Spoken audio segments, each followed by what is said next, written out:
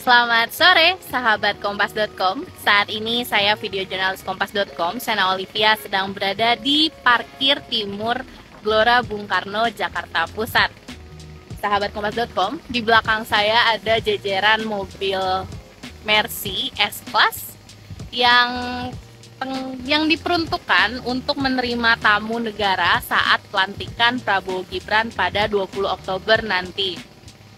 Nah, sahabat kompas.com sebelumnya mobil Mercy, mobil Mercy ini diduga diperuntukkan untuk menteri dalam pemerintahan Prabowo Gibran. Tapi ternyata Menteri Sekretaris Negara atau Mensek Mensesnek Pratikno membantah bahwa puluhan mobil di belakang saya ini e, bukan untuk menteri begitu, tetapi untuk tamu negara yang akan datang nanti saat pelantikan Prabowo Subianto dan Gibran Rakabuming Raka.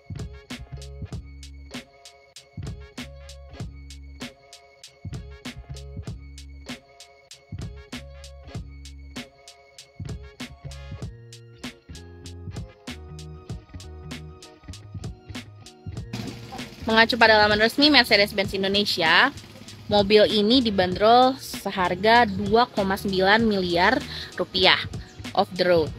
S450 sendiri ini merupakan mobil konvensional yang dibekali mesin 6 silinder segaris berkapasitas 2999 cc dan tenaga yang dihasilkan adalah 367 TK dan torsinya 500 Nm.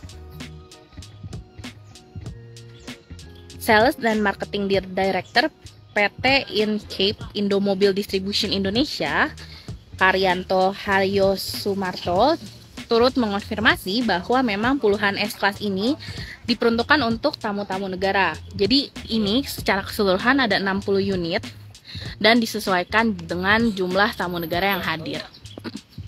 Sahabat Kompas.com, tadi saya tiba, mobil-mobil ini sebagian sedang dibersihkan, sedang dilap Nah, itu uh, bisa dilihat ada petugas yang sedang membersihkan mobilnya.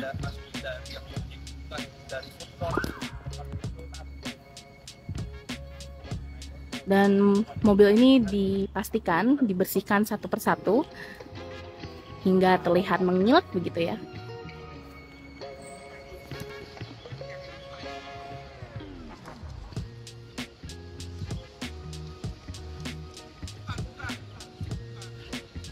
Ini satu mobil butuh berapa lama Pak bersihinnya?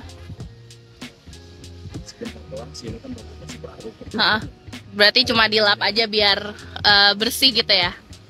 Ini tiap hari dibersihin sampai nanti pelantikan Pak? Oh, cuma hari ini? Oh, oh setelah terimanya kapan Pak kalau boleh tahu? Besok ya? Oke, makasih ya Pak ya. Oke, jadi ini berarti masih disiapkan, belum diserah terima dengan pas pampres. Terparkir dengan rapi dan hari ini dibersihkan.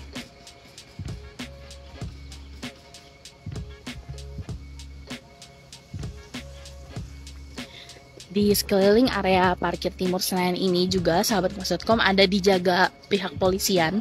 Tadi ada sejumlah mobil polisi yang terparkir dan petugas yang berjaga. Dan pastinya ini akan disiapkan dengan baik begitu ya. Nah, ini di sisi lainnya saling berhadapan dan rapi.